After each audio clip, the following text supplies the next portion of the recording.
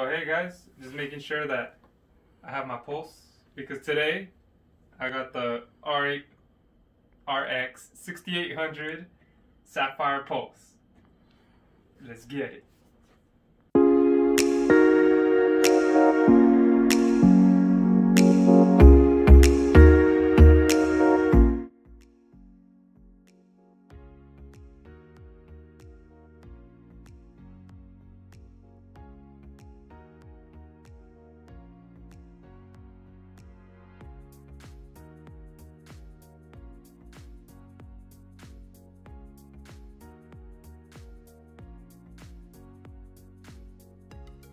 Alright, so we're gonna go ahead and unbox this bad boy real quick. It says uh, 4K Ultra HD Gaming, 16 gigabyte memory, GDDR6, and PCIe 4.0 support. But let's see what's inside. Gotta be gentle.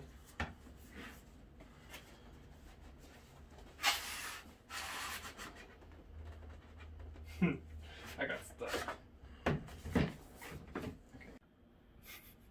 Okay. So so far it's just some brown cardboard box. That's not impressive since I had to pay nine hundred dollars for this freaking card, and it's only the sixty eight hundred. They raised the prices on after tariffs. So here's the booklet telling me how to install it. I don't think I need that, but let's go ahead and check this out.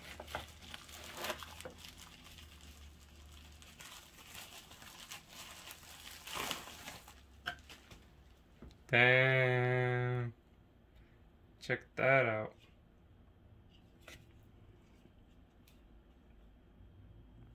As you can see, it's got the sapphire lettering right there. Radeon. This is the reference card. This isn't the Nitro. And it's got one HDMI and three display ports. Uh, that's pretty nice. It's got a BIOS switch for quiet and for um, turbo, I guess. And it's already switched on right there.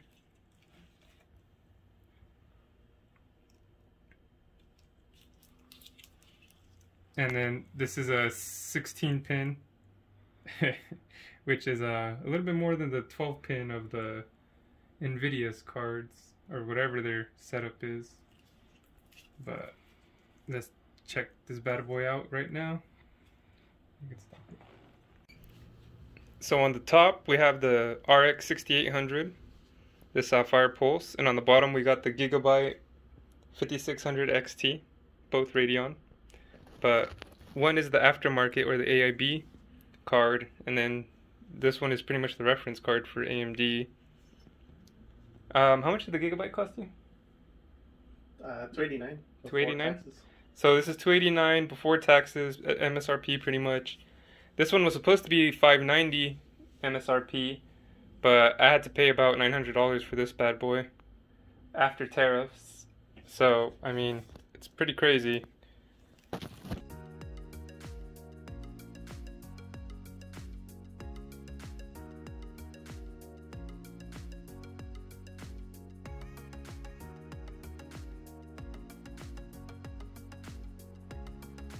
Go to the comparison of the one you guys are probably here for mostly, um, I'm gonna compare it to the RX 480, the Radeon. It's a four gigabyte reference card.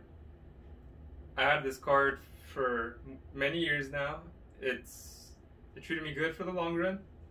It's lasted forever, and um, I've gotten good gaming out of it. But it's starting to show its age. It can't run games at 2K 60 frames as much anymore. Um, I used to run that at medium settings, but it, it's a good card. It's lasted me a while, but I sold it on eBay for $220. So since someone was willing to buy it for that price, I pretty much had to let it go. But you're gonna be missed, RX 480.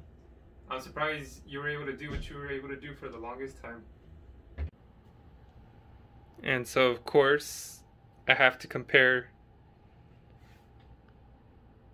Of course, I got to compare the old school and the new school. Look, there's a Huge difference. Jeez, it's about half the size of that. But you will be missed. 480. So this is how the 3060 Ti looks inside of the case. It came with the GPU mount, so it doesn't sag. It's also 16 pin. And then there's the back of it.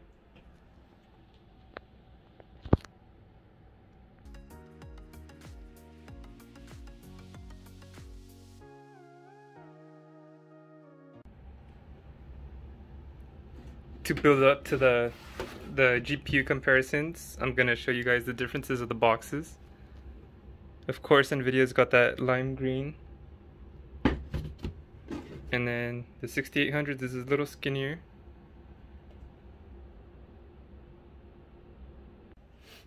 So the MSI I had gotten for MSRP with taxes and shipped, it came out to 550. It came in this nice black box. It came with the GPU support. Came with this envelope. You know, they, they went all out on their presentation.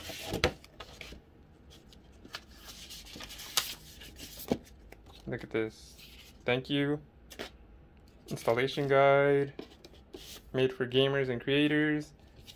How to upgrade your new graphics cards. Look at that. All nice. The foam in there.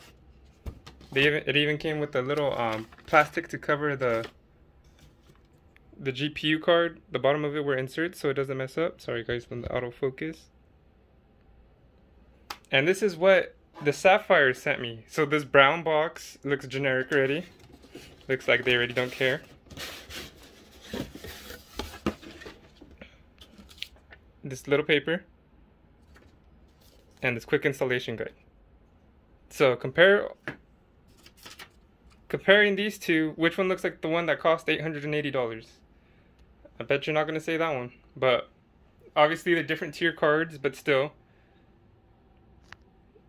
I feel like for the 900 I had to pay pretty much for this, I should have gotten at least a GPU support. Or at least the minimum something to cover the bottom of the pin or the of the GPU where it inserts at. But of course but of course, we're coming down to what it really matters to is the actual card. Look how beefy this MSI AIB card is. And, um, sorry guys, this is not the reference card, this is the Sapphire Pulse one. Um, I made an error earlier in the episode, so please forgive me, but check, check out that beef. Look at that thickness. That's a nice sandwich right there. But, yeah, this one doesn't come with any RGB, or, yeah, I don't think so. Maybe right there it lights up, it looks like. We'll find out. But it's surely lacking compared to this NVIDIA one. And th this one does have a BIOS switch. In my pretty previous, sorry, not pretty, in my previous 3060 Ti video, um, I was looking for the switch on here, but it doesn't have it, which is fine. This card ran pretty well. The back is nice. And um, this one has RGB right here and right here. And it also has it right there. And then the letters light up too. So looks wise on the graphics card the 3060 Ti has a beat I believe the MSI gaming trio. But performance wise is what matters the most so let's check that out but first I gotta install the Sapphire so I guess we can get down to the specs of the 6800 Sapphire Pulse. It is running on RDNA 2 technology. Um, that is the new, that is the newer uh, version of this. Big Navi was the, the nickname they used for it for a while. It does have a 7 nanometer um, processing chip, so I'm not, I don't remember the exact size of the NVIDIA one, so I wish I could help on that. But um, its base clock is 1800 uh, millihertz. Um, that can boost all the way up to 2170 supposedly. Its game clock says it's 1950, so when you're gaming it, it's probably at 1950, and then it could probably spike up higher if you overclock it. And like like um, I showed you on the video, it does have the switch there, but I'm gonna leave it on to you know the highest performance.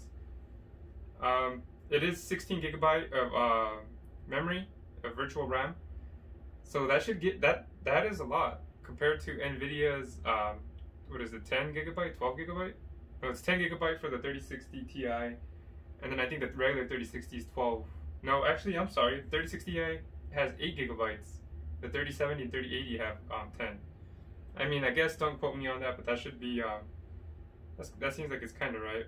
Um, let me see how much watts it says that this uses. I guess it doesn't, but the length of this card is um, 313 um, millimeters. It should be able to fit in your case, at least in the Lian Li 2, Lancool 2. So I would measure it before you go out and buy it. But it says that it, it, it gives up to 250 watts. Um, it recommends a minimum of uh, 650 watt PSU. I mean, I don't know exactly what you're running or how strong your CPU is. That can help determine it as well. Um, it has two 8 pins, and it's got the three display ports and one HDMI. So DirectX 12 and then GD, GDDR6 um, compatibility. So, I mean, it seems like a solid card, but we'll find out soon.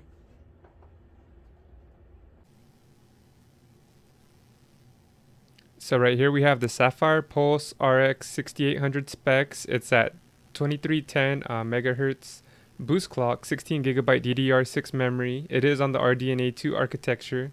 Um, it has one HDMI port, 2.0, three display ports, 1.4, and the minimum specs that you should use uh, PSU is 650 watt. And of course, we're going to be comparing the MSI RTX 3060 Ti Gaming Trio X it has 1830 megahertz boost clock, 8 gigabyte DDR6 memory. It's on the Ampere architecture, same amount of HDMI's, display ports, and the same um, recommended minimum specs. These do run stronger, but we shall see. So the first test that we had was the MSI Kombustor. Uh, that might be a little biased since it is an MSI card, but the Sapphire um, Pulse at 1440 and at 1080 was way behind on the Gaming Trio. This is the biggest difference I have. Everything else is usually behind. But the gaming trio at 1440 and at 1080, uh, 52 frames and 63 frames respectively. That's a big jump compared to the other two. Um, like I said, maybe since it's the same company. But Gears 5, the Ultra Preset benchmark, had 1440p, 88 frames per second, 1080p, 87.6 frames per second. The um, Gaming Trio 1440p, 70.9 frames, and then the 1080p at 86.6. So this was the benchmark at multiplayer. I get a little higher frames, but I wanted to make this as even as I can, and this is the best way I could check it out. So Gears is more AMD biased. At Horizon 4 is also more AMD biased. The 1440p is at 115 frames per second. The 1080p is at 144 frames per second. And um, this is the highest I got on the Pulse. Um, the Gaming Trio 1440p, 117 frames per second. The Gaming Trio at 1080p is 133 frames per second it's still not too bad for that card, but you could see the big difference on this one. And um, the Sapphire Pulse 6800 at 1440p was 97 frames per second. At 1080p, 120 frames per second. Um, the Gaming Trio 1440p, 78 frames per second with DLSS on, 95 frames per second. Um, 1080p, 101 frames per second, 118 with DLSS on. DLSS I recommend for co- um, Cold War. It, it looks really good and it gives you way more frames. It's a game changer. On Warzone, there is no DLSS. The 6800 at 1440p was at 105 frames per second. The 6800 at 1080p was 131 frames per second. Um, the Gaming Trio at 1440p was at 104 frames per second, and the 1080p 109 frames per second. Uh, I I did this by running around and playing. Um, I didn't go to the gulag. If I did, I had to restart the bench, the test results. But more or less, you run around anyways on Warzone. It's always random, so I guess that's a good one. Cyberpunk tested this hard, this card pretty hard. Um, DLSS was is a must. The 6800 at 1440p was 59 frames per second. The 6800 at 1080p was 83 frames per second. The 3060 Ti 1440p was 47 frames per second. DLSS 68 frames per second. At 1080, 76 frames per second, and 97 frames with DLSS. Microsoft Flight Simulator, I don't understand. The results were the same for um, 1440p, 1080p, 37 frames per second for the 6800, and for the 3060 Ti, it was 36 frames per second for 1440p and 1080p. I don't know if I was doing something wrong, but the, it was on the high preset, and I got the same results either way. So I mean, this is a good card for both of them, whether you're a whether you're on the budget or not. I mean, uh, for bang for the buck, I would definitely recommend the the gaming trio. But if you really want the 6800, these are the results. So I can't really tell you guys what to do with your money. It is your money, but at the end of the day, I think the 6800 is a little overpriced, especially what I got it for at 880 after taxes and shipping. So hope you guys liked the video. Please hit like and subscribe, and um, hope you guys enjoy the rest of my videos as well. So have a good day, and I'm gonna try to keep this going.